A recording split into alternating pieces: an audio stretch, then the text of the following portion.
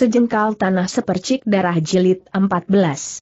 Tentu saja rombongan Raden Wijaya yang sudah lelah itu terkejut melihat kakek yang memimpin 20 orang itu menghadang di depan mereka.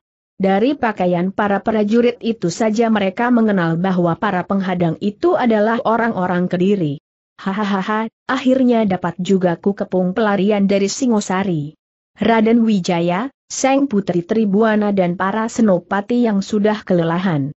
Kalian lebih baik menyerah agar dengan baik-baik kalian kugiring ke Kediri untuk kuhadapkan kepada Sri Baginda kata Ki Cucut Kala Sekti dengan lagaknya yang congkak. Raden Wijaya belum mengenal kakek itu. Dia tahu bahwa para senopatinya sedang lelah, maka kalau dapat dia hendak menghindarkan pertempuran. Sambil menggandeng tangan tunangannya, dia pun melangkah maju dan dengan sikap tenang berwibawa, Raden Wijaya bertanya, siapakah kau, kakek tua? Kami tidak pernah mengenal kau sebagai senopati kediri, dan mengapa pula kau menghadang perjalanan kami hahaha, Seng Pangeran Raden Wijaya. Aku bukan sekedar seorang senopati, melainkan aku seorang adipati, yaitu Adipati Negara dari Bendo Winangun. Sebagai seorang penggawa kediri, tentu saja aku membantu Kediri dan aku ditugaskan untuk menangkap rombonganmu. Menyerahlah saja demi keselamatan kalian, daripada kami harus mempergunakan kekerasan melihat sikap congkak ini, medang Dangdi melangkah maju. Tentu saja Senopati ini marah sekali mendengar bahwa yang berada di depannya adalah orang yang pernah hampir menghancurkan kehidupan istrinya, yaitu Warsiem. Ketika dia mengembara ke Singosari, Datuk Sesat itu telah menculik Warsiem, memperkosanya dan bahkan menawannya ke dalam goa di tebing, tempat yang seperti neraka di mana Warsiem merana sampai bertahun-tahun. Akhirnya, Warsiem dapat bertemu dengan Nurseta, dapat bersama pemuda itu menyelamatkan diri keluar dari goa dan lolos dari cengkeraman manusia iblis Ki Cucut Kala Sekti itu, dan bertemu lalu berkumpul kembali dengan dia. Babo-babo, keparat laknat manusia iblis cucut kala sekti bentaknya marah, mukanya merah dan dia sudah menghunus kerisnya. Bukalah mata dan telingamu baik-baik. Kami para senopati Singosari akan melindungi junjungan kami sampai titik darah terakhir. Kami pantang menyerah sebelum nyawa meninggalkan badan. Kebetulan sekali, saat ini aku berkesempatan untuk membalaskan sakit hati yang telah kau timpakan kepada ibunya Wulan Sari mendengar ini, Ki Cucut Kala Sekti mengamati laki-laki yang gagah perkasa itu penuh perhatian. Terkejut juga dia mendengar disebutnya ibunya Wulan Sari. Akan tetapi, dia menutupi kekagetannya dengan tawanya yang congkak. Hahaha, kiranya engkau ini yang bernama Medang Dambi. Bagus, kalau begitu memang kalian sudah bosan hidup berkata demikian, kakek ini memberi isyarat kepada para prajuritnya untuk mengepung dan menyerang. Dia melihat betapa semua senopati Singosari telah mengeluarkan senjata, maka dia maklum bahwa tidak mungkin mereka itu akan sudi menyerah. Terjadilah pertempuran mati-matian yang amat seru. Andai kata di situ tidak ada Ki Cucut Kala Sekti, tentu para senopati Singosari akan sanggup menandingi pengeroyokan 20 orang prajurit kediri itu, bahkan dengan mudah akan mengalahkan mereka. Akan tetapi di pihak kediri terdapat kakek sakti cucut kala sekti. Dia mengamuk dengan ilmu-ilmunya yang dahsyat. Pukulan dengan aji gelap suwu, juga aji segoro umup terlalu kuat bagi para senopati itu sehingga mereka terdesak hebat, dan beberapa orang senopati bahkan telah menderita luka-luka.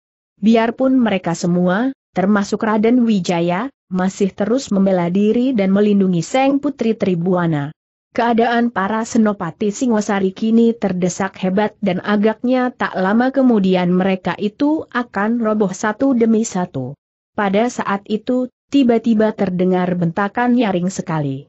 Ki Cucut Kala Sekti, keparat jahanam yang selalu mengumbar nafsu kejahatan di mana-mana dan muncullah seorang kakek berusia hampir 60 tahun, berpakaian serba hitam dengan baju terbuka di bagian dada memperlihatkan dada yang berbulu, mukanya berewok, matanya lebar dan tajam mencorong kurus akan tetapi tulang-tulangnya besar kokoh kuat, perutnya gendut. Dia adalah Ki Jembros seorang tokoh besar yang gagah perkasa, terkenal sebagai seorang gagah yang setia kepada Singosari walaupun dia tidak pernah menjadi senopati. Terkenal pula sebagai seorang penentang kejahatan. Di samping Ki Jembros nampak seorang pemuda tampan yang bukan lain adalah Nur Seta. Seperti kita ketahui, Nur Seta bersama ayah angkatnya, yaitu Ki Baka, ikut mengamuk mempertahankan Singosari ketika pasukan Kediri menyerbu. Namun, Ki Baka terluka parah oleh pukulan Ki Cucut Kala Sekti sehingga Nur Seta menyelamatkannya dan membawanya lari. Dalam pelarian ini, Nur Seta sempat menyelamatkan Seng Putri Tribuana dari tangan Yeu Yeu Rumpung. Dia kehilangan Seng Putri yang telah melarikan diri menyusup di antara para pengungsi. Melihat keadaan ayah angkatnya yang payah, Nur Seta lalu melarikan Kibaka keluar dari pura, membawanya ke dalam hutan. Dengan segala daya upayanya, dicobanya untuk mengobati ayah angkatnya, namun sia-sia. Pukulan Ki Cucut Kala Sekti itu terlalu hebat, mengandung hawa beracun dan akhirnya Ki Baka yang usianya sudah 75 tahun itu pun meninggal dunia dalam rangkulan Nur Seta. Kematian Ki Baka diterima sewajarnya oleh Nur Seta.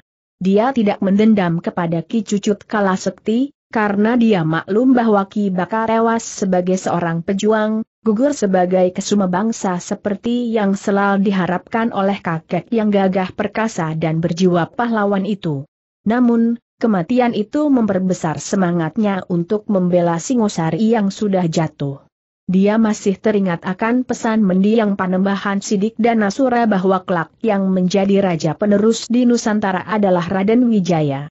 Oleh karena itu, kini timbul semangatnya untuk mengabdikan diri atau membantu perjuangan Raden Wijaya. Dia mengubur jenazah ayah angkatnya, kemudian dia pun melakukan penyelidikan di mana adanya Raden Wijaya yang hendak dibantunya itu.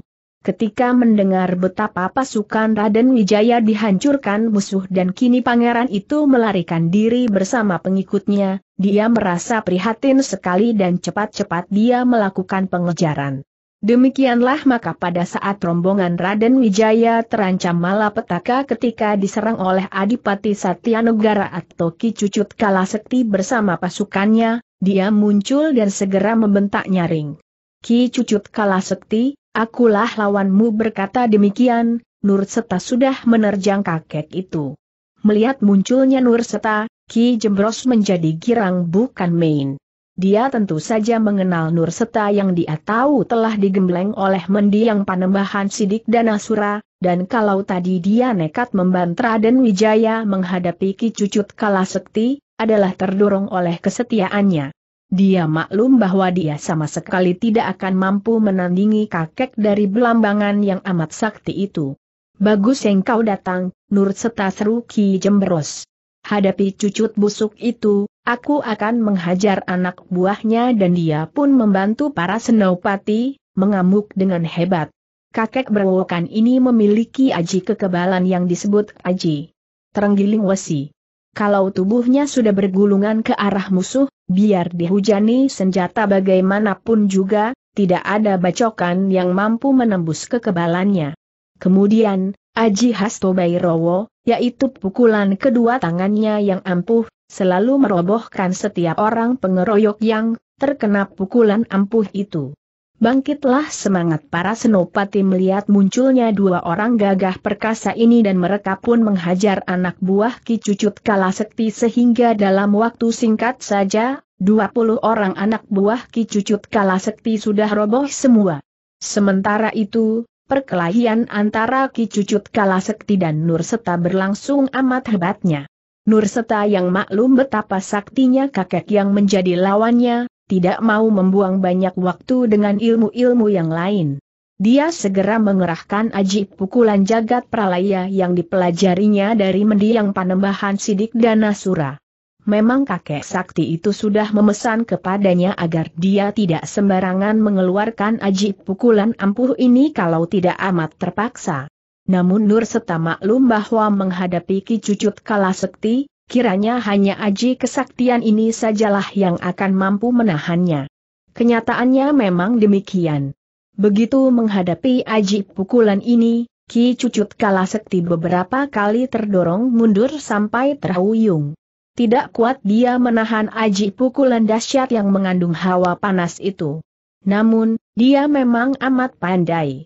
Karena tidak, mungkin melawan aji pukulan pemuda itu dengan mengadu tenaga, dia pun mempergunakan kelincahannya, selalu menghindarkan diri dari sambaran pukulan itu dan membalas dari samping atau dari belakang, mengandalkan kelincahan gerakannya. Maka, terpaksa Nur Seta mengeluarkan aji beraja denta yang dipelajarinya dari mendiang Kibaka, yang memiliki gerakan lebih cepat, namun aji pukulan ini, biarpun cukup hebat, ledaklah sedahsyat jagat pralaya, dunia kiamat. Melihat betapa 20 orang anak buahnya sudah roboh, hati Ki Cucut Kala Sekti menjadi semakin gentar. Apalagi kini Ki Jemros dan para senopati Singosari, yang rata-rata merupakan ksatria-ksatria yang gagah perkasa, sudah maju dan siap mengeroyoknya. Dia dapat celaka di tangan mereka, pikirnya, maka tiba-tiba dia mengeluarkan suara mendesis seperti seekor ular dan dari mulutnya menyambar uap hitam. Semua senopati terkejut, tidak berani maju dan kesempatan itu dipergunakan oleh Ki Cucut Kalasekti untuk meloncat jauh dan melarikan diri. Ki Jebros dan Nur Seta segera menghaturkan sebah kepada Raden Wijaya yang merasa girang sekali bahwa keselamatan dia serombongannya telah diselamatkan oleh dua orang gagah perkasa ini. Dari mereka dia memperoleh keterangan bahwa mereka itu muncul secara kebetulan saja. Kakang Mas, kisanak inilah yang telah menyelamatkan saya dari cengkeraman penjahat yang hendak menangkap saya ketika lari mengungsi, seperti pernah saya ceritakan padamu kata Putri Tribuana. Raden Wijaya berseru girang. Ah, kiranya kau pula yang telah menyelamatkan Seng Putri, Nur Seta. Akan tetapi, benarkah ketika itu engkau memanggul seorang kakek yang terluka benar sekali, Raden? Yang hamba panggul itu adalah mendiang Kibaka, ayah angkat hamba yang terluka parah oleh pukulan Ki Cucut Kala Sekti pula, yang kemudian menyebabkan kematiannya. Jagat Dewa Batara, tiba-tiba Ki Jembros berseru lantang. Jadi Kakang Baka telah tewas benar sekali, Paman kata Nur Seta. Raden Wijaya lalu mengajak semua pengikutnya untuk mencari tempat yang bersih dan sunyi untuk berunding, agar tidak sampai percakapan mereka terdengar oleh para anak buah Ki Cucut Kalasekti yang di antaranya ada yang belum tewas dan hanya terluka. Setelah memasuki sebuah hutan kecil, mereka pun bercakap-cakap dengan leluasa. Tentu saja mereka membicarakan keadaan Singosari yang sudah terjatuh ke tangan orang-orang Kediri. Nur Seta juga menceritakan keadaan Singosari seperti yang dilihatnya. Demikian pula Ki Jemberos. Mendengar akan keadaan Singosari yang sudah sepenuhnya dikuasai musuh, Raden Wijaya merasa berduka sekali. Sungguh tidak kusangka sama sekali bahwa Paman Prabu Jaya Katlang dari Kediri sampai hati menyerbu Singosari, padahal kerajaan Singosari telah memperlakukannya dengan baik-baik. Juga amat mengherankan bagaimana dia sampai berhasil Pangeran Wijaya termenung sedih. Inilah akibat dari kelalaian yang telah dilakukan oleh Seng Prabu, Raden. Pasukan yang kuat dikirim ke Melayu, dan kekuatan pasukan Anyak berkurang karena telah dipergunakan untuk menggempur Bali dan daerah lain. Dalam keadaan kosong dan kekuatan pasukan kecil, maka Raja Kediri lalu menyerbu dan pasukan mereka jauh lebih besar dan lebih kuat kata Lembu Sora dengan penuh penyesalan. Mendengar ayah mertuanya dipersalahkan, Hati Raden Wijaya merasa tidak enak kepada tunangannya, yaitu Putri Tribuana, maka dia pun cepat berkata, maksud dari Ramanda Prabu memang baik, meluaskan wilayah dan menjalin hubungan baik dengan negara lain di seberang, akan tetapi sungguh mengherankan bagaimana Kediri dapat menghimpun kekuatan demikian cepatnya, dan kuat pula. Sekarang, yang menjadi persoalan adalah bagaimana kita akan mampu menjatuhkan kekuatan kediri yang telah menguasai Singosari bagaimana mungkin hal itu dapat dilakukan tanpa memiliki pasukan yang kuat, Raden kata lembu sora. Nanti setelah Paduka mendapatkan tempat yang aman, yaitu di Madura, barulah perlahan-lahan Paduka menghimpun pula kekuatan pasukan untuk menggempur dan melakukan pembalasan, merebut kembali Singosari dan menjatuhkan kediri Raden Wijaya mengangguk-angguk dan semua senopati menyetujui pendapat lembu sora itu. Melihat betapa Nur Seta seolah-olah hendak bicara akan tetapi selalu ditahannya, Raden Wijaya lalu berkata, Nur Seta, walaupun kau bukan senopati Singosari, namun sudah berkali-kali kau membuat jasa besar. Dahulu membantu penumpasan Mahesa Rangkah yang memberontak, sekarang juga engkau telah menyelamatkan kami. Bagaimana menurut pendapat melihat keadaan sekarang ini memang tadinya Nur Seta hendak mengemukakan sesuatu akan tetapi ragu-ragu karena dia tidak berani lancang bicara. Dia bukan seorang penggawa Singosari dan bukan bawahan Raden Wijaya.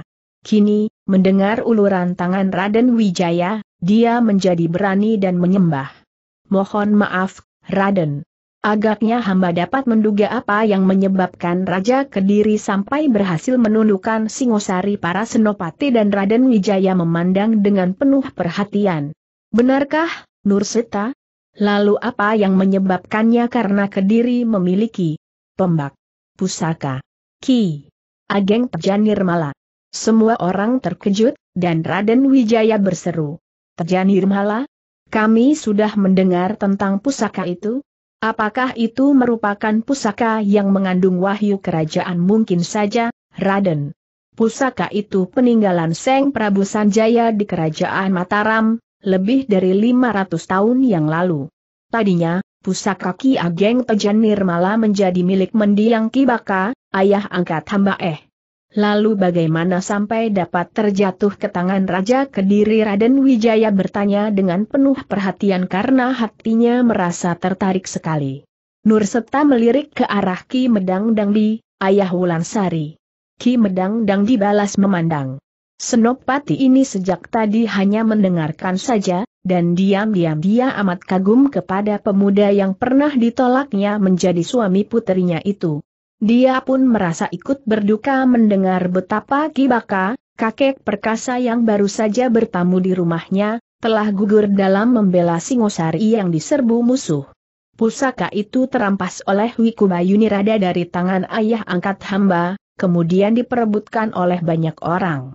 Akhirnya pusaka itu dapat terampas dari tangan Wikubayuni Rada dan terjatuh ke tangan, dia Jeng Wulan Sari, Kembali Nur Setami lirik ke arah Ki Medang Dangdi karena merasa tidak enak harus menyebut nama gadis itu. Melihat sikap pemuda ini, Ki Medang Dangdi mengangguk-angguk perlahan seolah-olah memberi isyarat kepada Nur Seta agar jangan ragu-ragu menceritakan tentang puterinya itu. Wulan Sari? Siapakah ia tanya Raden Wijaya, makin tertarik.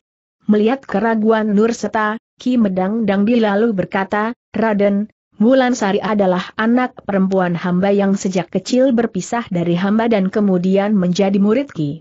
Cucut Kala Sekti.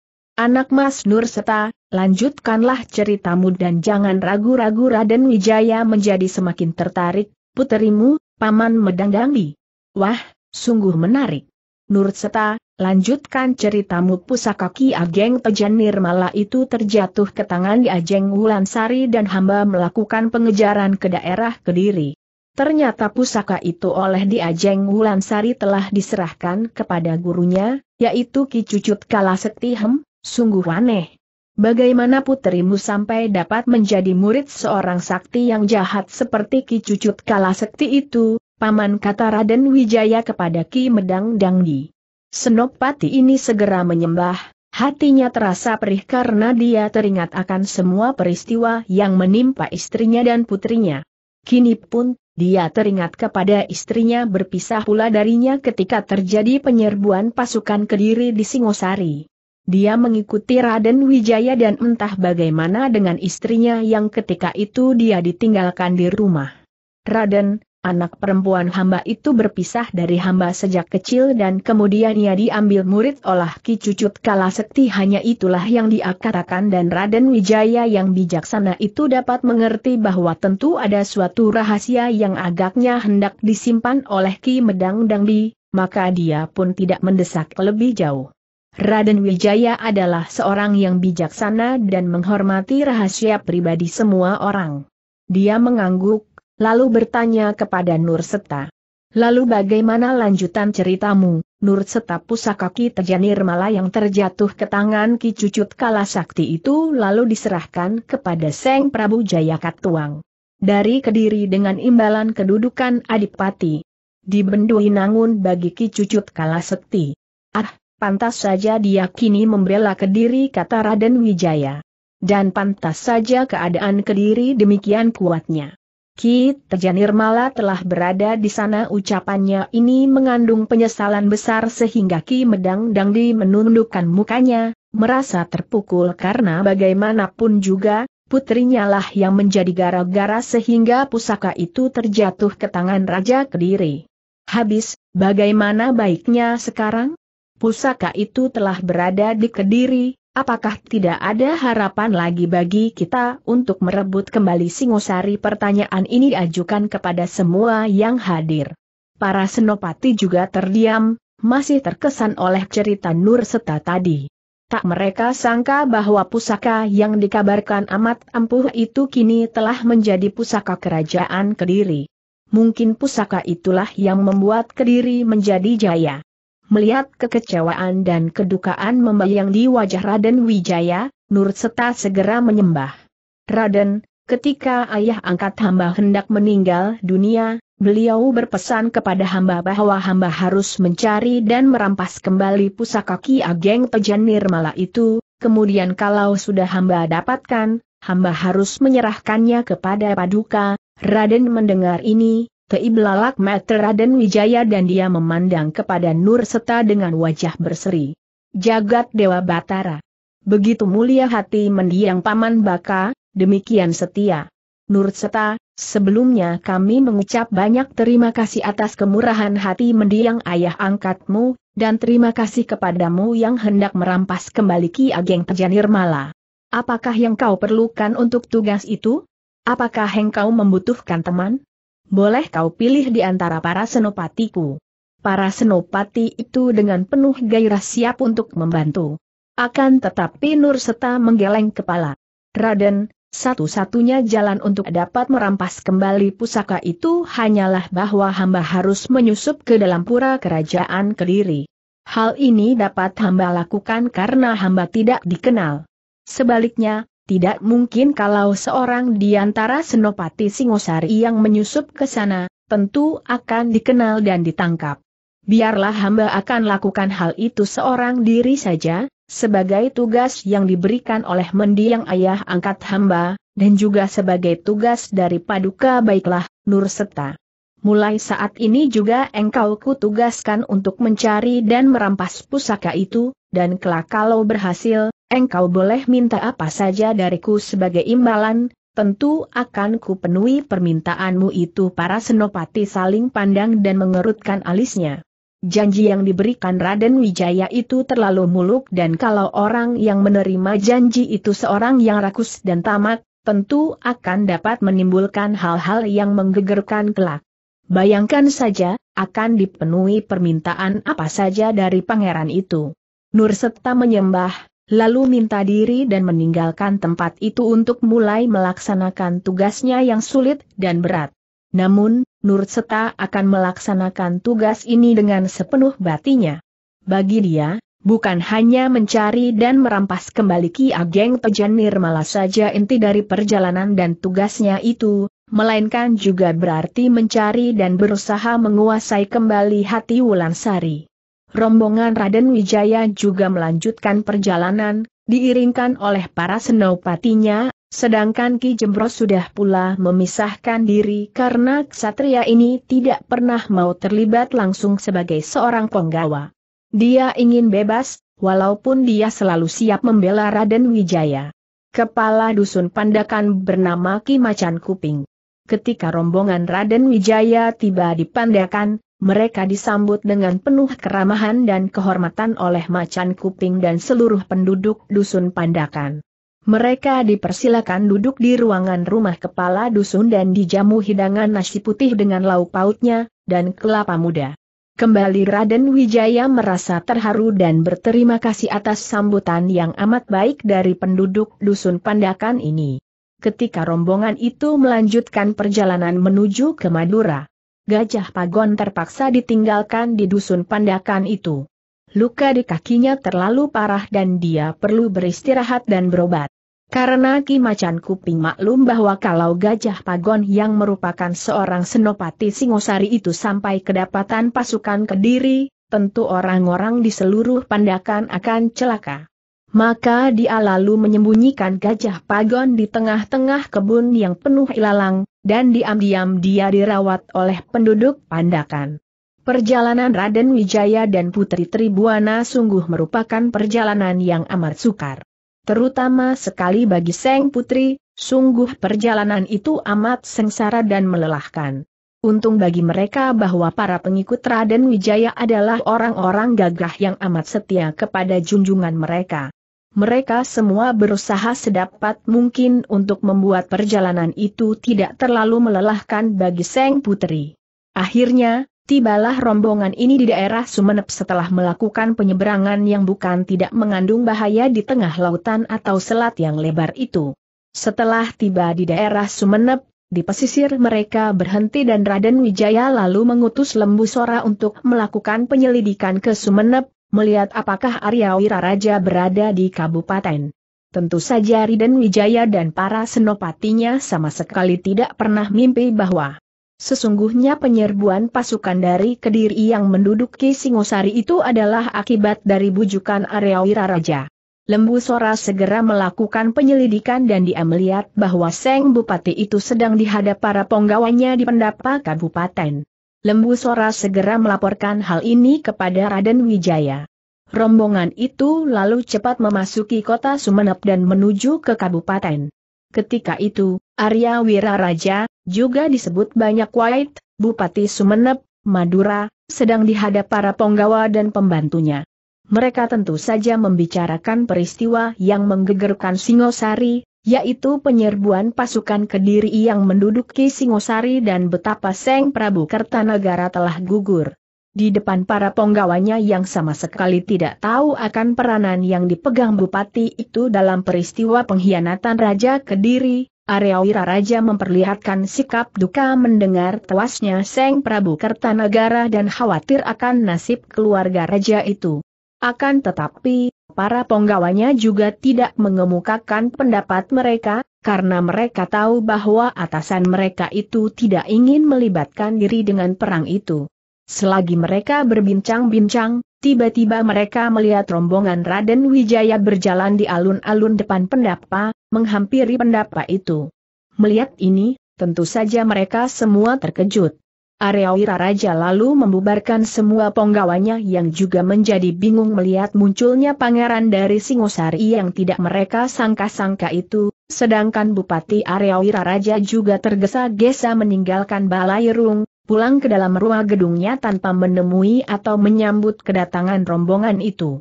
Melihat ini, dan menemukan pendapat itu telah kosong, dan mendengar keterangan prajurit penjaga bahwa Seng Bupati telah pulang sedangkan para penggawa juga pergi setelah.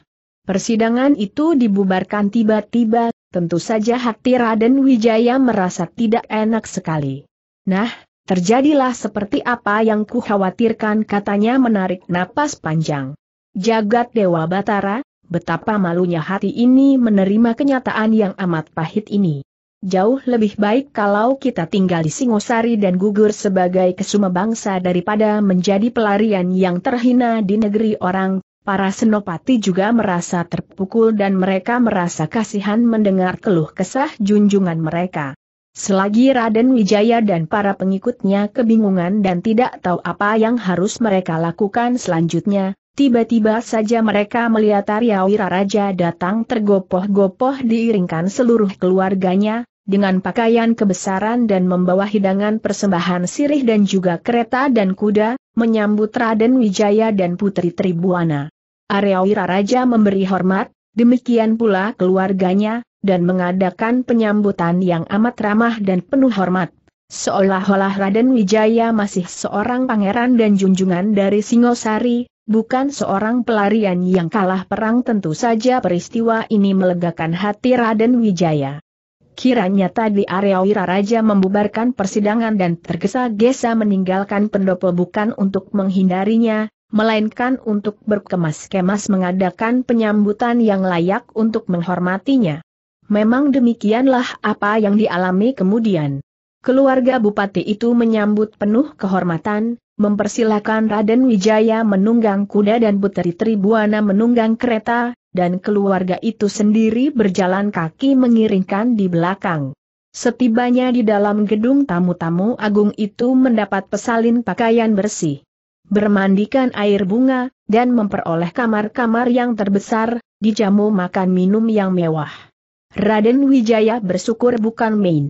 Setelah membicarakan peristiwa kejatuhan Singosari di tangan Raja Kediri, Bupati Wiraraja lalu berkata dengan sikap hormat. Dengan hati yang penuh duka dan penyesalan, namun tidak berdaya, kami telah mendengar tentang peristiwa itu, Raden. Lalu, apakah rencana paduka selanjutnya Kanjeng Paman, kalau sekiranya Kanjeng Paman mengizinkan, untuk sementara ini saya ingin tinggal dulu di sini, menghimpun kekuatan untuk kelak melakukan pembalasan atas pengkhianatan Paman Jaya Katlang jawab Raden Wijaya sambil mengepal tinju. Arya Raja menarik napas panjang. Memang cita-cita itu baik sekali, Seng Pangeran. Tentu saja Paduka dapat tinggal di sini dan anggaplah ini sebagai rumah Paduka sendiri. Akan tetapi tentang pembalasan itu, sebaiknya Paduka berhati-hati dan tidak tergesa-gesa, semua harus diatur bagaimana baiknya karena pada waktu ini, kekuatan pasukan Daha amatlah besarnya demikianlah, Raden Wijaya dan para pengikutnya tinggal di Sumenep dengan aman walaupun hati mereka selalu ingin mencari kesempatan untuk membalas atas kekalahan Singosari yang amat menyakitkan. Hati itu Wulan Sari menerima sebuah tugas baru, yaitu menemani dan menjaga keselamatan seorang tawanan, yaitu Seng Putri Gayatri atau Pusparasmi, putri yang ditawan ini adalah adik dari Putri Tribuana, putri dari mendiang Seng Prabu Kertanagara yang sudah ditunangkan dengan Raden Wijaya. Adapun Seng Putri Tribuana yang tadinya berlari dari istana bersama Putri Gayatri kemudian mereka terpisah, telah ditemukan oleh Raden Wijaya. Putri Gayatri ditangkap. Ditawan dibawa ke istana Daha atau Kediri. Biarpun ia seorang tawanan, namun ia diperlakukan dengan hormat karena ia adalah putri Raja Singosari. Bahkan seorang di antara saudaranya, seorang putri yang lahir dari selir, telah menjadi mantu Raja Jaya Katwang dari Daha atau Kediri itu. Berbeda dengan Putri Tribuana yang berwatak halus dan imbut, Putri Gayatri atau juga disebut Pusparasmi ini, yang baru berusia 17 tahun, adalah seorang gadis remaja yang kenes, galak dan pemberani. Kecantikan dan daya tariknya juga berbeda dari kakaknya. Kalau Putri Tribuana seorang gadis yang berkulit kuning langsat, wajahnya cantik dan bulat seperti bulan purnama, wataknya halus lembut dan tenang, sebaliknya Putri Gayatri ini berkulit hitam manis, wajahnya cantik manis dengan dagu meruncing. Wataknya agak keras, pemberani dan pandai bicara, manja, jenaka dan periang sehingga nampak kegenit-genitan. Namun, seperti juga para putri istana lainnya, masih jelas nampak darah kebangsawanannya, nampak pada bulu mata yang lentik itu, sinar mata yang tajam, lekukan dagu dan bibir. Biarpun hatinya merasa amat berduka mendengar bahwa ayahnya telah tewas, keluarganya hancur berantakan, banyak di antara putri yang tewas atau menjadi korban kebiadaban para prajurit Daha, dan ia sendiri kehilangan kakaknya tercinta, yaitu Putri Tribuana, namun Putri Gayatri tidak mau menangis lagi setelah tiba di istana Dahala memperlihatkan sikap angkuh, bukan seperti seorang putri tawanan dan ia bahkan tidak pernah mau menjawab kalau ditanya oleh Raja Daha dan keluarganya. Bahkan Putri Singosari yang menjadi mantu Seng Prabu Jayakatwang, yaitu kakaknya sendiri berlainan ibu, tidak mampu menundukkan hati Putri Gayatri, yang juga menganggap kakaknya ini sebagai keluarga pengkhianat dan musuh besarnya. Keluarga Seng Prabu Jaya Katwang kewalahan menghadapi sikap putri yang galak ini, dan akhirnya Wulan Sari yang menerima tugas untuk menemaninya dan juga menjaga keselamatannya, bukan hanya dari ancaman luar, melainkan menjaga agar putri yang berani itu tidak sampai nekat membunuh diri.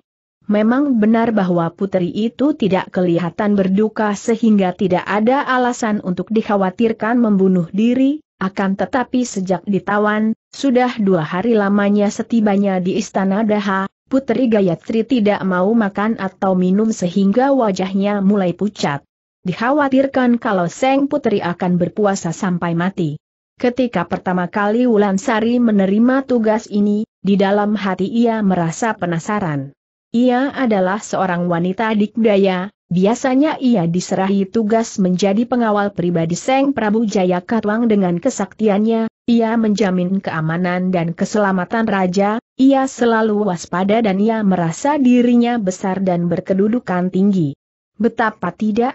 Seng Prabu Jaya Katwang, Raja Daha, telah begitu mempercayainya sehingga ia menjadi orang nomor dua di dalam istana. Tidak ada rahasia raja yang tidak diketahuinya, bahkan benda-benda pusaka dapat diambilnya setiap saat. Semua orang dalam istana segan dan takut kepadanya, apalagi ketika mereka mengetahui bahwa pengawal pribadi ini bukan seperti wanita biasa. Tidak mau tunduk dan tidak suka menjadi selir Seng Prabu Jaya Katuang. Hal ini saja membuat para selir dan putri istana tunduk dan segan kepadanya. Kini, ia harus menjaga dan menemani seorang putri tawanan, seorang gadis remaja yang kelihatannya manja. Ketika pertama kali ia memasuki kamar tawanan itu, sebuah kamar yang indah, membawa menampan, baki, berisi hidangan makanan dan minuman, ia melihat Seng Putri sedang duduk bersila di atas pembaringan. Wajahnya penuh nestapa, akan tetapi begitu mendengar langkahnya, Wajah itu menjadi keras kembali dan sepasang mata yang mencorong seperti mata kucing di dalam kegelapan malam, menatapnya. Mereka berdua saling pandang, dua pasang mata bertemu dan keduanya merasa tertarik dan kagum. Sepasang mata Wulan Sari yang tajam itu memandang dan mengamati penuh perhatian selagi ia melangkah masuk dengan baki penuh hidangan itu. Ia melihat seorang gadis remaja yang usianya kurang lebih 17 tahun, bertubuh langsing dengan pinggang kecil, tubuh yang lekuk-lengkungnya mulai menjadi, seperti setangkai bunga yang mulai mekar dari kuncupnya. Gadis remaja itu berkulit hitam manis, mulus tanpa cacat, wajahnya yang bulat telur itu manis sekali dan setiap anggota badannya seolah-olah memiliki daya tarik yang luar biasa. Sepasang matanya itu Sepasang bintang cemerlang, bening dan jeli, bentuknya indah meruncing ke tepi dan agak berjungkit sedikit dengan sepasang alis yang kecil panjang menghias dahi yang landai dengan sinom, anak rambut, yang merumbai dari atas, bulu mata yang panjang melengkung sehingga bayangannya menimpa pipi, hidung kecil mancung dengan cuping tipis yang dapat bergerak kembang kempis, mulut yang amat manis setiap kali bergerak, dengan lesung pipit di kanan kiri. Seorang gadis hitam manis yang amat cantik jelita. Sebaliknya, Putri Gayati juga memandang kagum. Ia seolah melihat seorang Sri Kandi di depannya. Wanita itu usianya tentu ada 25 tahun, seorang wanita yang sudah matang. Berkulit putih kuning, wajahnya manis namun membayangkan ketabahan dan keberanian yang menantang.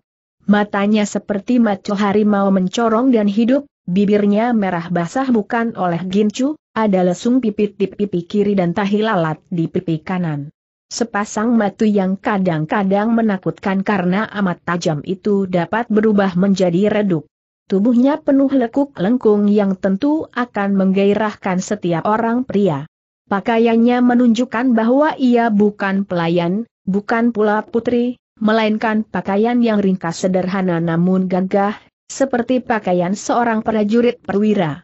Diam-diam Putri Gayatri merasa heran sekali dan karena ia yakin bahwa wanita ini bukan keluarga raja, maka ia pun besertanya, siapakah kau Lansari adalah seorang wanita yang keras hati dan ia tidak pernah mau merendahkan diri, apalagi kalau merendahkan diri itu untuk menjilat atau bermuka-muka. Ia memang biasa bersikap sopan kepada siapa saja, akan tetapi tidak mau sembarangan merendahkan diri. Bagaimanapun juga, ia telah diberitahu bahwa gadis tawanan ini adalah seorang putri, Putri Singosari yang kabarnya sudah dihancurkan dan sudah terjatuh ke tangan pasukan Kediri. Diam-diam ia merasa kasihan kepada gadis ini, dan karena maklum bahwa ia berhadapan dengan seorang istana Singosari, maka ia pun bersikap sopan. Saya bernama Wulan Sari dan ditugaskan oleh Sri Baginda untuk menemani dan menjaga keselamatanmu berkata demikian, Wulan Sari menurunkan baki itu dan meletakkannya ke atas meja dekat pembaringan. Kekerasan masih belum meninggalkan hati Putri Gayatri, maka sambil cemberut ia pun membalikan tubuhnya dan duduk membelakangi Wulan Sari. Aku, Seng Diah Gayatri dari Singosari bukan seorang yang sudi menerima kebaikan musuh Raja Daha telah berkhianat, dan sekarang hendak menjamu aku yang dijadikan tawanan? Lebih baik aku mati kelaparan Wulan Sari mengamati putri itu dari belakang. Ia tersenyum kagum. Putri ini masih remaja, bahkan masih kekanak-kanakan, akan tetapi tubuhnya itu sudah mulai mekar menggairahkan, dan sikapnya memang anggun dan berwibawa, juga sama sekali tidak memperlihatkan rasa takut pada wajahnya dan sikapnya, bahkan sebaliknya, sikapnya menantang dan tidak takut mati.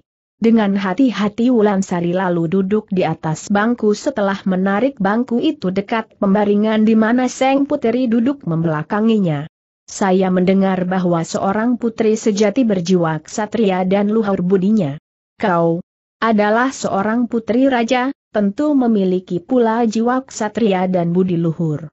Akan tetapi mengapa kau mudah sekali putus asa mendengar teguran ini, Putri Giatri cepat membalik lagi dan kini kedua kakinya turun tergantung di tepi pembaringan, matanya mengamati wajah Sari dan sikapnya menantang.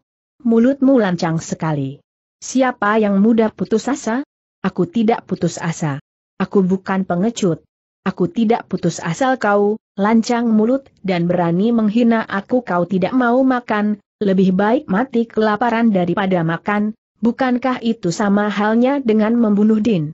Dan orang yang membunuh diri berarti seorang pengecut yang putus asa. Saya yakin kau bukan orang seperti itu Hulan Sari tersenyum girang. Pancingannya mengena dan ia tidak khawatir lagi gadis remaja ini akan bunuh diri. Saya juga tidak percaya bahwa kau pengecut atau penakut. Akan tetapi, kalau sekarang saya beritahukan bahwa makanan dan minuman ini mengandung racun untuk membunuhmu, apakah kau berani memakan dan meminumnya? Sama-sama kita lihat saja nanti berkata demikian, Bulan Sari sengaja meninggalkan putri itu dan keluar dari dalam kamar, menutupkan pintu kamar itu dari luar. Akan tetapi, dengan kepandaiannya, ia menyelinap ke balik jendela dan mengintai ke dalam kamar ia melihat Seng, putri marah-marah. Putri itu kini sudah turun dari atas pembaringan dan ia berjalan-jalan hilir mudik seperti seekor harimau betina dalam kurungan. Kau kira aku tidak berani dengan ancaman kematian itu? Huh, pelayan keparat, lancang mulut. Kita sama lihat saja tiba-tiba putri remaja itu duduk di atas bangku menghadapi meja, membuka tutup makanan yang dihidangkan tadi lalu mulai makan dengan lahapnya. Memang perutnya amat lapar, sudah hampir dua hari dua malam ia tidak makan apa-apa, dan diminum ya pula minuman yang tersedia. Sedikit pun ia tidak nampak ngeri atau takut bahkan setelah lidahnya terbiasa dan dapat menikmati lesatnya makanan, ia tidak ingat apa-apa lagi kecuali mengisi perutnya yang lapar. Di luar jendela, Wulan Sari tertawa tanpa suara dan ia pun semakin tertarik kepada putri remaja itu. Seorang putri yang selain cantik jelita dan manis, juga amat menyenangkan, pemberani, lincah dan galak. Ia tidak mau masuk sebelum putri itu selesai makan minum dan menutupi kembali baki tempat makanan. Setelah Seng Puteri duduk kembali di tepi pembaringan, barulah Sari memasuki kamar setelah lebih dulu ia batuk-batuk agar kedatangannya didengar oleh putri remaja itu. Ketika ia membuka pintu dan masuk, ia masih sempat melihat Seng Putri untuk terakhir kalinya mengusap bibir dengan kain agaknya untuk yakin benar bahwa tidak ada tertinggal sebutir nasi di tepi mulutnya. Bulan Sari pura-pura tidak tahu dan ia memandang ke arah baki terisi makanan yang nampaknya masih utuh dan ditutupi kain penutup. Air, ternyata kau benar-benar tidak mau menyentuh makanan dan minuman yang diberi racun ini? Sudah kuduga demikian, kau tidak akan berani, kata Wulan Sari dengan nada suara seperti mengejek. Siapa yang tidak berani? Aku bukan penakut. Lihat, makanan itu telah kumakan minuman itu telah kuminum dan aku menanti saat kematian tanpa rasa takut sedikit pun Wulan Sari pura-pura terkejut dan ia membuka penutup baki itu, terbelalak. Air, kiranya kau telah makan minum. Hebat, kau memang putri sejati, tidak takut mati, dan juga tidak ingin membunuh diri. Saya bicara sekali kepada Paduka. Sesungguhnya, makanan dan minuman itu sama sekali tidak mengandung racun, sebaliknya mengandung bumbu penyedap dan penguat badan. Wajah yang manis itu menjadi merah sekali, sepasang mata bintang itu terbelalak dan seperti mengeluarkan sinar api. Putri Gayatri meloncat turun dari atas pembaringan, telunjuk kirinya menuding ke arah muka Wulan Sari. Kau, kau, menipuku. Berani engkau mempermainkan aku, ya tangan kanannya menyambar sebatang keris kecil yang selalu terselip diikat pinggangnya, lalu dengan gerakan cepat ia menusukkan keris kecil semaam candrik itu ke arah dada Wulan Sari wanita ini tidak mengelak maupun menangkis, melainkan diam-diam ia mengerahkan tenaga sakti ke arah dada yang ditusuk.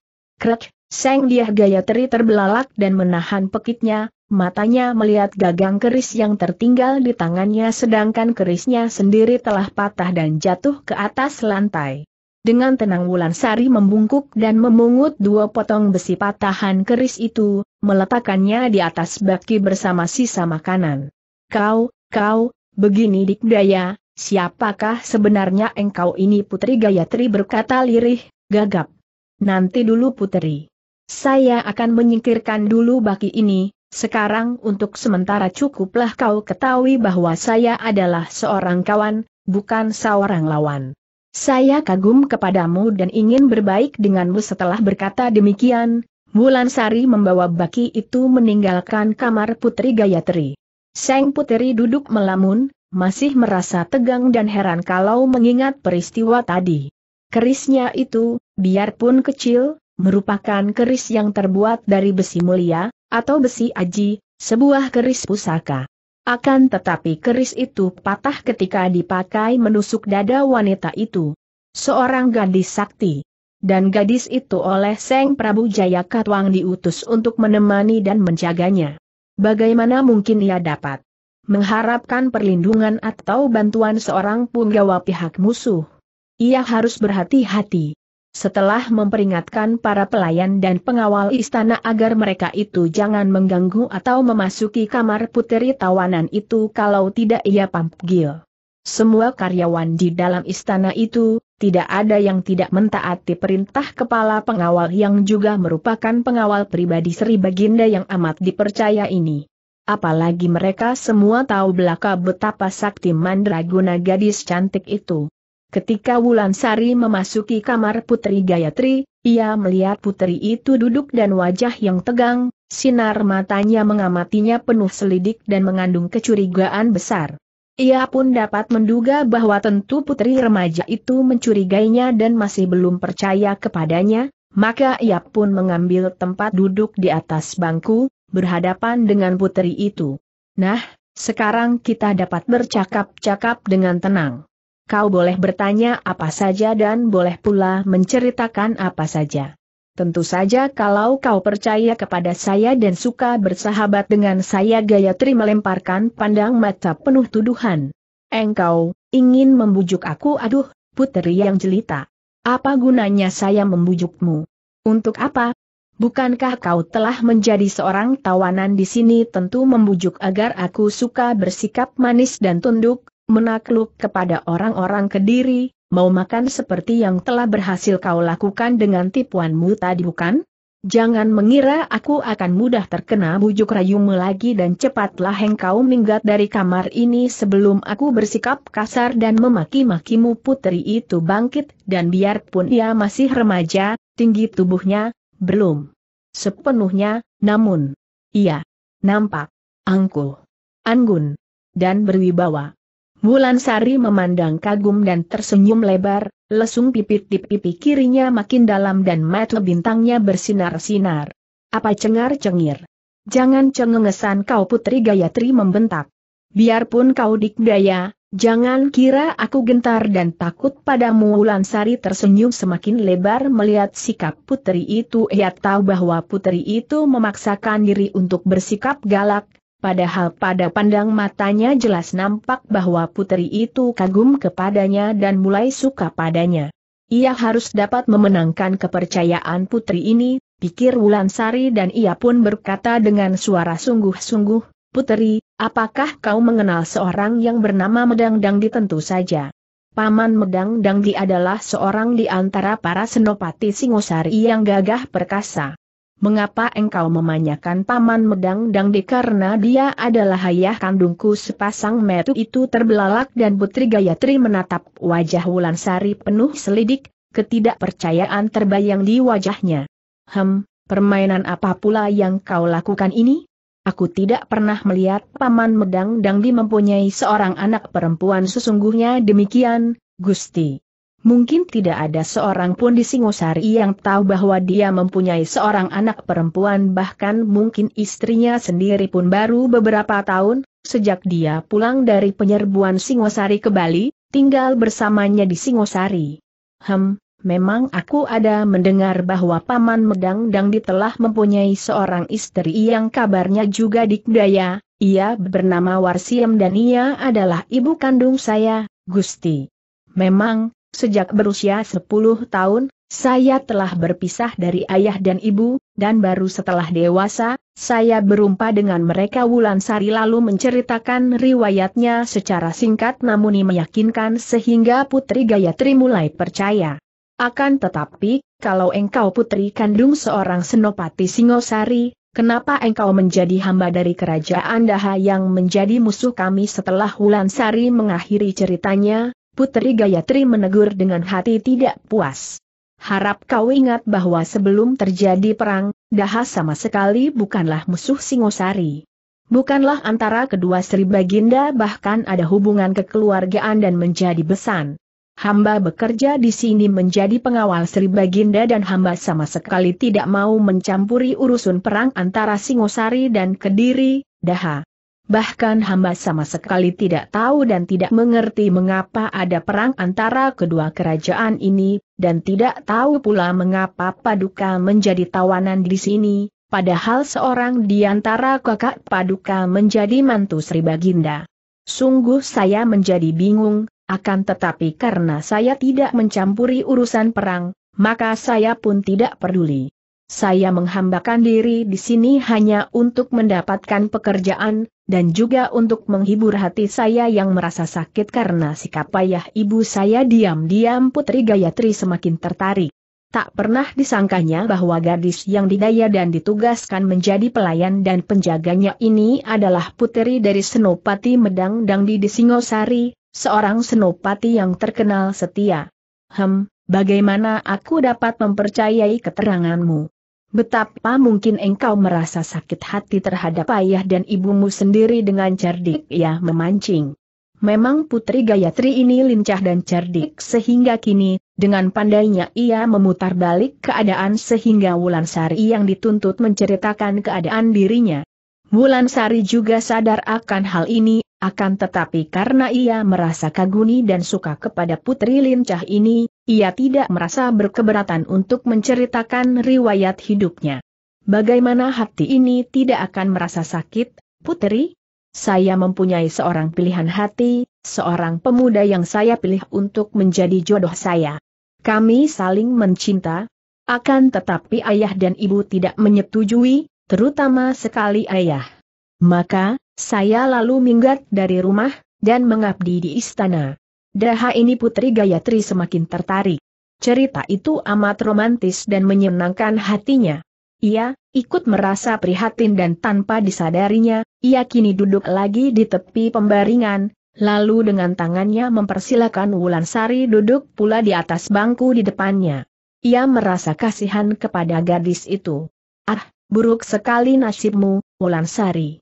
Siapakah perjaka yang menjadi pilihan hatimu itu namanya Nurseta, walaupun dia bukan seorang senopati Singosari, akan tetapi dia seorang pendekar sejati yang membela Singosari, walaupun sesungguhnya dia keturunan seorang pangeran Dahaai, sungguh menarik sekali Gayatri menjadi semakin tertarik. Bayangkan saja, pikirnya, Putri Senopati Singosari kini menjadi pengawal pribadi Raja Kediri, dan putra seorang pangeran Kediri menjadi seorang pahlawan Singosari. Yang ingin sekali ku ketahui tentang perasaanmu, Bagaimana engkau rasakan sekarang setelah terjadi pengkhianatan? Rajamu terhadap Singosari? Kanjeng Rama telah memberi kesempatan kepada Raja Daha untuk tetap menjadi raja walaupun Kediri telah dikalahkan Singosari, bahkan telah memberi kehormatan untuk berbesan. Akan tetapi, secara pengecut sekali, Raja Kediri menyerang Singosari dan mengakibatkan hancurnya keluarga Kanjeng Rama, bahkan beliau sendiri gugur bersama banyak anggota keluarga. Sekarang, engkau berpihak kepada siapa, Sari? Ingat, sekarang ayahmu itu, Paman Medang Dangdi, mungkin sudah gugur atau masih terus berjuang melawan pasukan Kediri. Dia adalah seorang di antara para pembantu. Eh, tunanganku, yaitu Raden Wijaya. Saya bingung, Gusti Putri. Saya tidak pernah mencampuri urusan kerajaan, dan sekarang saya bingung sekali melihat kesempatan ini. Putri Gayatri lalu mulai menceritakan keadaan kerajaan Singosari dan Kediri, hubungan antara kedua kerajaan itu dan perbuatan Raja Kediri yang berkhianat dan pengecut, menyerang Singosari sekali kerajaan ini mengirim pasukan besar ke negeri Melayu.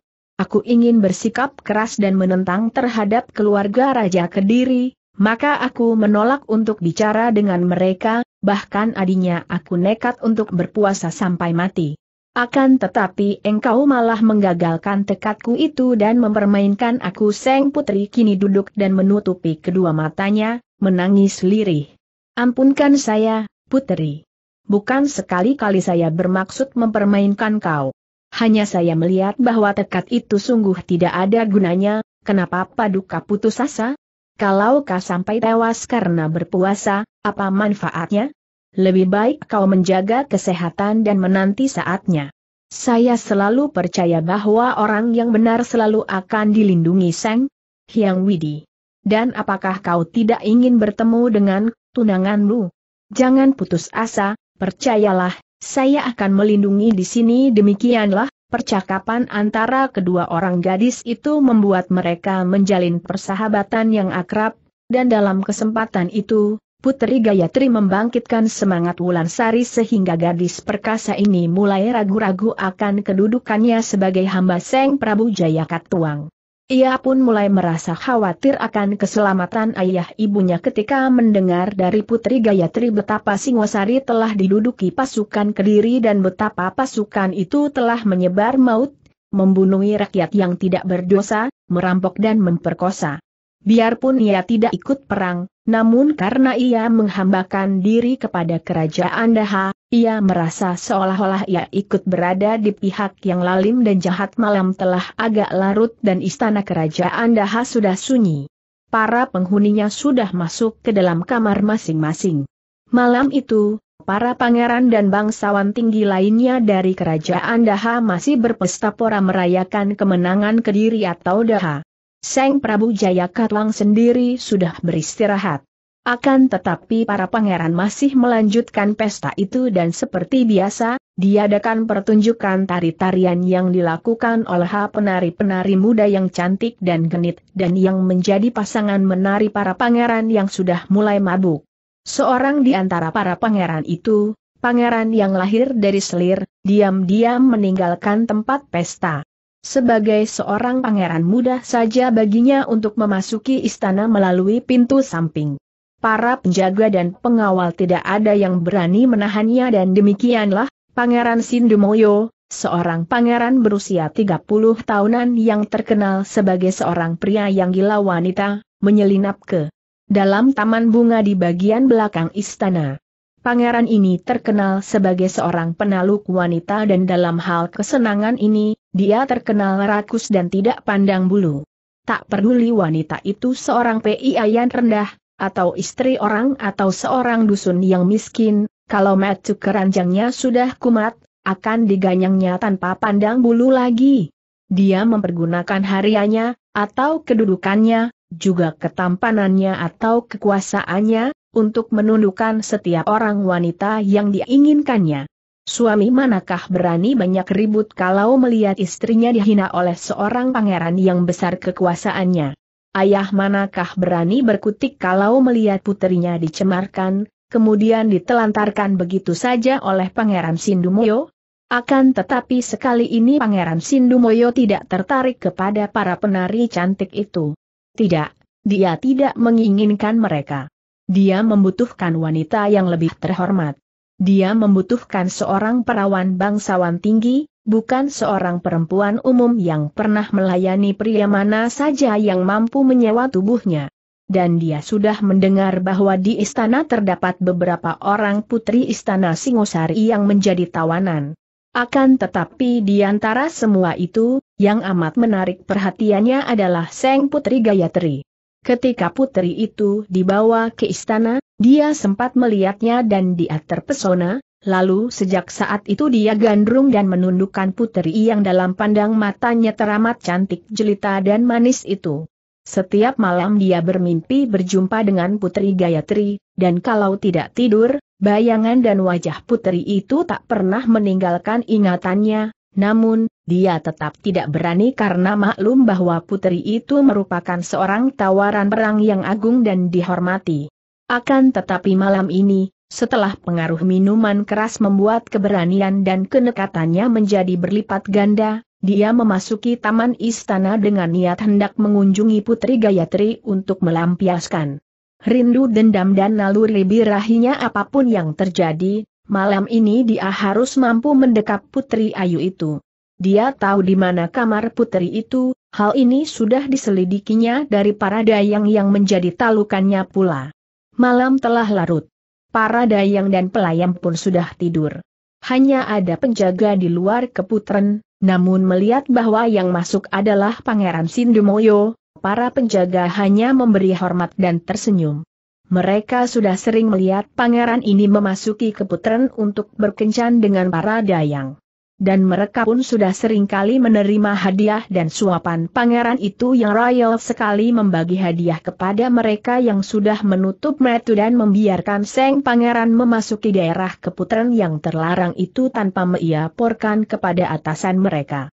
Pangeran Sindumoyo lalu berindap-indap menuju ke bagian keputaran itu, langsung melalui lorong yang ujuk ke bagian belakang karena dia tahu bahwa kamar puteri tawanan itu berada di kamar besar paling ujung dekar Taman Sari.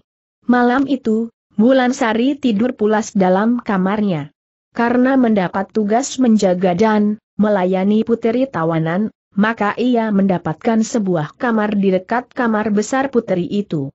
Setelah kini mereka menjadi sahabat yang akrab, sering kali Putri Gayatri minta kepada Wulansari untuk tidur di kamarnya saja. Akan tetapi malam ini Wulansari minta diri dan tidur di kamarnya sendiri. Hatinya gundah dan makin ia pikirkan, makin gelisah hatinya. Semenjak ia bergaul dengan Putri Gayatri dan mendengai urusan kerajaan Singosari dan Daha, mulailah ia merasa ragu dan bingung ayahnya sendiri menjadi senopati Singosari, juga Narseta menjadi seorang pahlawan Singosari. Selain itu, juga ia tahu bahwa Ki Jemros dan Seng Panembahan Sidik dan Asura, dua orang yang dahulu menyelamatkannya dari lautan, mereka adalah orang-orang yang setia kepada Singosari ibunya sendiri. Sekarang pun berada di Singosari dan tentu saja juga membantu kerajaan itu. Akan tetapi, ia sendiri membantu kerajaan Kediri. Padahal kakek yang amat jahat itu, kakek yang mengaku sebagai kakeknya, bahkan telah menjadi gurunya, Ki Cucut Kalasekti, membantu kerajaan Kediri bahkan diangkat menjadi seorang adipati. kalau yang membantu raja seorang seperti Cucut Kala Sekti, maka sungguh meragukan kalau kerajaan Daha berada di pihak yang benar. Mulailah ia ragu-ragu. Biarpun hatinya yang keras juga mempertahankan pendapat itu, namun kalau ia terkenang kepada Nur serta satu-satunya pria di dunia ini yang dicintanya, hatinya seperti tertusuk, perih dan sedih dan ia menjadi semakin bingung. Kin, Singosari sudah runtuh. Akan tetapi menurut Putri Gayatri, masih ada keturunan Singosari yang menjadi tumpuan harapan seluruh rakyat, yaitu Raden Wiyaya. Dan semua senopati, termasuk ayahnya, bahkan juga Nurseta dan semua ksatria Singosari, berdiri di belakang Raden Wijaya yang dicalonkan untuk membangun kembali Singosari yang telah jatuh. Akan tetapi ia sendiri, masih berada di istana Kediri. Wulan Sari bimbang sekali, dan akhirnya karena lelah, ia tidur pulas di dalam kamarnya. Jeritan itu hanya dua kali lalu terdiam. Bagi orang lain tentu tidak menarik perhatian, apalagi kalau orang itu tadinya sedang tidur pulas, tentu dianggap mimpi atau suara lain, namun, tidak demikian bagi Wulan Sari. Gadis perkasa ini seketika sadar. Pendengarannya yang terlatih amat tajam dan perasaannya amat peka sehingga begitu mendengar jeritan dua kali itu, lah sudah menduga bahwa tentu terjadi sesuatu yang tidak wajar. Rambutnya agak kusut, juga pakaiannya karena tadi ia tertidur nyenyak, akan tetapi ia tidak memperdulikan pakaian dan rambutnya. Tubuhnya sudah berkelebat cepat dan ia telah tiba di luar pintu kamar Putri Gayatri. Walaupun pintu kamar itu tertutup, namun pendengarannya dapat menangkap gerakan dan suara yang mencurigakan di dalam kamar itu. Sekali dorong saja, pintu kamar itu terbuka dan matanya terbelalak, mengeluarkan sinar kemarahan ketika ia melihat apa yang terjadi di dalam kamar itu. Di atas pembaringan Seng Puteri, Putri Gayatri sedang bergumul dengan pria yang berusaha untuk menciumi dan merenggut lepas pakaian Seng Putri. Putri Gayatri mempertahankan diri, meronta dan mencakar memukul, akan tetapi tidak mampu berteriak karena mulutnya dibungkam oleh tangan kiri pria itu. Keparat Wulan Sari mencaci dalam hatinya dan sekali melompat ia telah berada di dekat pembaringan. Tangan kanannya diangkat, siap untuk menjatuhkan pukulan maut, akan tetapi segera ia mengenal siapa pria itu dan otomatis pukulannya berubah menjadi cengkeraman ke arah lengan pria itu dan sekali renggut, tubuh pria itu terlepas dari Putri Gayatri dan terlempar sampai ke sudut kamar. Putri Gayatri terengah-engah, Membetulkan bajunya yang hampir terlepas rambut yang panjang itu terurai dan ia nampak cantik ayu bukan main, akan tetapi sepasang mata yang lebar itu terbelalak, masih membayangkan kengerian akan malapetaka yang hampir menimpa dirinya. Akan tetapi, melihat kehadiran Wulan Sari dan melihat betapa laki-laki itu telah terlempar bergulingan sampai ke sudut kamar, hatinya terasa lega dan kemarahannya bangkit. Dengan sikap tenang, Metu bersinar marah akan tetapi tetap menghormat. Wulan Sari berkata dengan suara dingin, memandang kepada pangeran yang mulai bangkit itu. Pangeraya Sindumoyo, tidak sepatutnya. Paduka mengganggu Gusti Putri Gayatri. Mendengar bahwa pria yang hampir memperkosanya itu adalah seorang pangeran, Putri Gayatri memandang dengan alis berkerut dan mata bernyala. Hem, jadi kau seorang pangeran. Pangeran macam apa perbuatannya melebihi seorang manusia biadab kata Putri Gayatri. Tentu saja Pangeran Sindumoyo tadi terkejut bukan main karena ada orang berani mencegah Nfa bahkan melemparkannya seperti itu. Akan tetapi ketika dia melihat bahwa yang melakukan hal itu adalah seorang wanita cantik yang gagah, dia pun mengenal Wulan Sari pengawal pribadi ayahnya dan pangeran ini sudah dapat memulihkan keangkuhan dan ketenangannya. Dia mengebutkan ujung bajunya yang terkena debu, lalu tersenyum. Ah, kiranya engkau Wulan Sari, pengawal pribadi Kanjeng Rama. Wulan Sari, engkau mengenal siapa aku. Mengapa engkau berani turun tangan terhadap aku, dan melindungi wanita ini biarpun ia seorang putri, akan tetapi ia putri Singosari, putri tawanan dan musuh kita, keluarlah kau, dan biarkan aku berdua dengan Seng Putri ini Wulan Sari menggeleng kepalanya. Tidak mungkin, Gusti Pangeran. Saya menerima tugas dari Sri Baginda untuk menemani dan menjaga keselamatan Gusti Putri Gavatri. Siapa pun juga tidak boleh mengganggunya dan saya bertanggung jawab untuk itu. Sebaiknya Paduka meninggalkan kamar ini sebelum diketahui orang lain dan terdengar oleh Seng Prabu wajah pangeran itu berubah merah. Haha, agaknya Kanjeng Rama menginginkan sendiri putri ini. Sungguh tak tahu diri. Aku pun mendengar bahwa Kanjeng Rama merayu engkau akan tetapi engkau tetap tidak mau melayaninya, bukankah begitu, Sari? Engkau benar. Dia sudah tua, dan biarlah aku saja yang membahagiakanmu. Engkau keluarlah dulu, biarkan aku bersama Putri Gayatri, baru nanti datang giliranmu. Ataukah engkau minta lebih dulu bukan main marahnya hati Wulan Sari mendengar ucapan tidak senonoh itu. Kalau saja ia tidak ingat bahwa yang bicara itu seorang pangeran, tentu ia telah turun tangan dan dibunuhnya pria yang lancang mulut itu. Matanya mencorong ketika ia memandang wajah pangeran itu dan kesopanannya menipis. Ucapan paduka itu tidak pantas keluar dari mulut seorang pangeran cepat paduka keluar dari sini, atau terpaksa saya akan melempar paduka dan mulut kotor paduka itu keluar wulan, menghadapi seorang penjahat tidak perlu memandang kedudukannya. Biar dia pangeran, dia lebih pantas kalau kau hajar biar mampus tiba-tiba Putri Gayatri berkata. Kalau saja aku memiliki kedikdayaan sepertimu, sudah tadi-tadi di aku bunuh pangeran itu sudah terbiasa disanjung dan dihormati orang.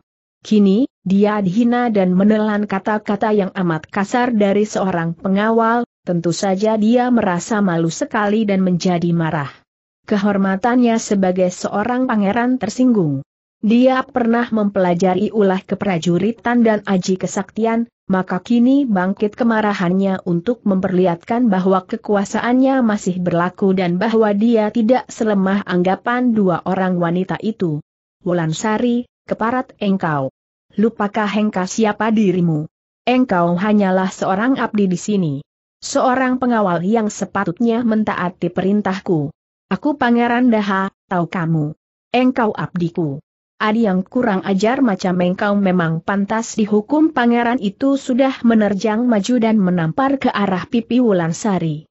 Tentu saja sikap pangeran ini bagaikan minyak disiramkan pada api kemarahan yang mulai membakar hati Wulan Sari. Kemarahan itu berkobar dan ia pun menangkis pukulan itu, terus menangkap lengan si pangeran dan sekali kakinya bergerak dan tangannya memuntir, tubuh pangeran itu kembali terlempar, kini lebih keras daripada tadi sampai tubuhnya menabrak dinding kemudian terbanting mengeluarkan bunyi keras. Diam-diam Putri Gayatri kagum bukan main menyaksikan ketangkasan Wulan Sari dan ia pun bertepuk tangan memuji. Diam-diam dalam kemarahannya, Wulan Sari tersenyum. Putri itu memang jenaka sekali, seperti kanak-kanak saja, begitu gembira menyaksikan pria yang hampir memperkosanya, dihajar. Wah, andai kata putri itu memiliki kepandaian tentu akan lebih payah lagi nasib Pangeran Sindumoyo. Ia hanya mengharapkan agar pangeran itu menjadi jera dan suka segera pergi karena bagaimanapun juga, ia tidak mau melibatkan diri dalam kesulitan kalau bermusuh dengan seorang pangeran. Akan tetapi harapan Wulan Sari ini ternyata sebaliknya dari kenyataannya. Pangeran Sindumoyo yang terbanting keras itu hanya sebentar saja menjadi pening. Dia sudah bangkit lagi karena memang Wulan Sari tadi hanya membuat dia terlempar, tidak melukainya dan kini pangeran itu menjadi macu gelap. Nafsu amarah memenuhi hati dan pikirannya dan dia pun lupa akan keadaan, lupa akan kewaspadaan, lupa bahwa yang dihadapinya adalah seorang yang amat sakti, walaupun seorang wanita. Dia sudah mencabut kerisnya keris milik seorang pangeran tentu saja bukan keris sembarangan, melainkan keris yang bersih atau ampuh. Begitu keris itu dicabut dari sanjungnya, hawa keampuhannya sudah terasa oleh Wulan Sari, akan tetapi gadis ini tidak merasa gentar sama sekali, bahkan ia yang memperingatkan pangeran itu. Pangeran Sindumoyo, simpanlah kembali keris paduka dan jangan main-main dengan senjata yang ampuh akan tetapi peringatan yang sebenarnya menyayangkan pangeran itu, diterima keliru dan pangeran Sindumoyo mengira bahwa ucapan itu keluar dari mulut Wulan Sari karena gadis itu merasa gentar menghadapi kerisnya yang ampuh. Perempuan tak tahu malu. Dari golongan rendah dan hina engkau diangkat ke dalam istana, dan setelah berada di sini, engkau lupa diri dan besar kepala. Derajatmu tidak lebih tinggi daripada seorang dayang istana, akan tetapi engkau telah berani menghina aku, seorang pangeran. Untuk dosa itu, hukumannya hanyalah kematian. Bersiaplah untuk mati di ujung keris pusakaku ini pangeran, sekali lagi kuperingatkan, mundurlah sebelum terlambat Wulan Sari masih berseru ketika pangeran itu menyerang dengan tusukan kerisnya ke arah dadanya. Wulan Sari mengelak dengan amat mudahnya ke kiri. Akan tetapi pangeran itu yang mengira bahwa lawannya gentar menghadapi keris pusakanya, memperoleh semangat dan dengan gerakan cepat, tubuhnya berputar ke kanan dan kerisnya terus meluncur dengan serangan maut ke arah wanita perkasa itu. Wulan Sari maklum betapa sebatang keris yang ampuh tidak boleh dibuat main-main, maka sekali lagi ia mengelak, kini dengan loncatan ke belakang dan berputar ke kanan. Pada saat pangeran mengikuti gerakannya dan hendak melanjutkan serangannya, Wulan Sari sudah meloncat lagi ke kanan dan kakinya kini menyambar dengan dahsyatnya. Sebuah tendangan kilat yang dilakukan dengan pengerahan tenaga meluncur dan mencuat ke arah pinggang Pangeran Sindumoyo. Des, tubuh itu terlempar seperti daun kering tertiup angin. Brak! Tubuh pangeran itu meluncur dan menimpa dinding kamar, lalu jatuh terbanting dan tidak berkutik lagi. Ketika Wulan Sari memandang, ia mengerutkan alisnya karena ada darah mengalir di bawah tubuh yang menelungkup itu. Ketika ia menghampiri dan membalikan tubuh itu, ternyata keris pusaka itu telah menancap di lambung pangeran itu sendiri dan dia telah tewas seketika. Ah, celaka, dia, dia tewas. Tanda petik. Dalam kagetnya, Wulan Sari berseru lirih dan cepat ia melompat dan mengunci pintu kamar itu agar jangan sampai ada orang lain mengetahui peristiwa itu. Bagus. Memang orang seperti dia itu lebih baik mati saja kata Putri Gayatri. Tidak semudah itu, Gusti Putri. Yang tewas ini adalah Pangeran Sindumoyo, seorang di antara para putra Sri Baginda. Dan dia tewas di kamar ini tentu akan geger seluruh istana, dan bukan hanya saya, akan tetapi kau juga tentu akan menghadapi akibat yang hebat. Aku tidak takut kata darah remaja itu dengan gagah. Dan engkau pun tidak perlu takut. Aku akan mengatakan kepada Paman Prabu Jaya Katuang bahwa akulah yang membunuh pangeran ini, bukan engkau. Hendak kulihat dia mau berbuat apa kalau kukatakan bahwa aku yang telah membunuh puteranya mendengar ucapan ini, Wulan Sari merasa kagum bukan main. Putri ini sungguh patut menjadi seorang putri raja, begitu anggun, cantik jelita dan agung, juga berjiwa ksatria tidak, putri. Itu bukan penyelesaian yang baik. Harap paduka tenang saja di sini, saya akan membawanya pergi dan menghilangkan semua jejaknya dari kamar ini berkata demikian, Wulan Sari lalu menggulung mayat pangeran itu dengan babut yang telah kotor oleh darah. Kemudian, dipanggulnya gulungan jenazah itu dan ia pun keluar dari dalam kamar dengan cepat. Ilmu kepandaiannya yang tinggi membuat ia tidak mengalami banyak kesukaran untuk membawa mayat itu keluar dari istana tanpa diketahui seorang pun pengawal. Andai kata ada yang melihatnya, tentu tidak akan ada yang berani menegurnya pula, karena ia adalah kepala seluruh pengawal dalam istana, juga kepercayaan Sri Baginda. Putri Gayatri menanti di dalam kamarnya, agak bingung juga memandang sebagian lantai kamar yang tidak ditutup babut atau permadani hijau. Diam-diam ia bersyukur sekali bahwa Wulan Sari muncul pada saat yang amat tepat.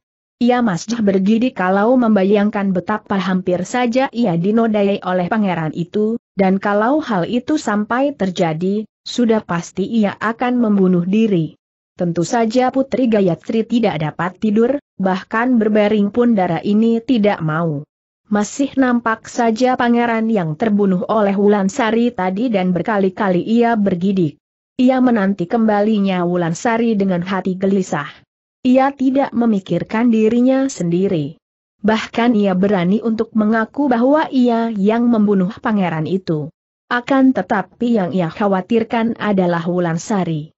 Gadis perkasa itu telah membelanya dengan sesungguh hati, bahkan gadis itu untuk menyelamatkannya sampai berani membunuh seorang pangeran, padahal ia adalah seorang pengawal pribadi raja dan menjadi orang kepercayaan.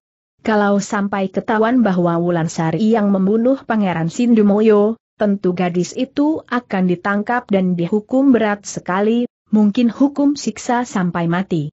Baru menjelang subuh nampak bayangan berkelebat dan Wulan Sari telah memasuki kamarnya sambil membawa gulungan babut yang kini digelar kembali oleh gadis perkasa itu seperti semula. Dan babut itu sudah bersih, tidak ada tanda percikan darah. Kiranya gadis perkasa itu telah mencuci babut itu di bagian yang ternoda darah, bahkan mengeringkan bekas yang dicuci dengan api. Mbak Kayu Wulan, Bagaimana Putri Gayatri berbisik sambil memegang lengan gadis perkasa itu. Kini tanpa ragu dan kikuk ia menyebut Mbak kepada Wulan Sari karena ia merasa seolah-olah gadis perkasa itu kakaknya sendiri yang membela dan melindunginya.